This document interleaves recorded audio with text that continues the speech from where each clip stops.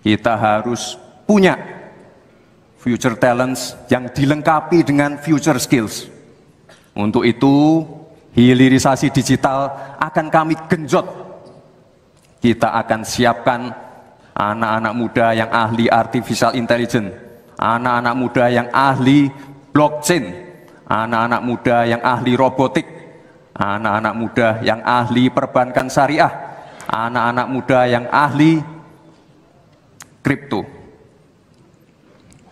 Bapak dan Ibu yang saya hormati, narasi besarnya di sini adalah keberlanjutan, percepatan, dan penyempurnaan.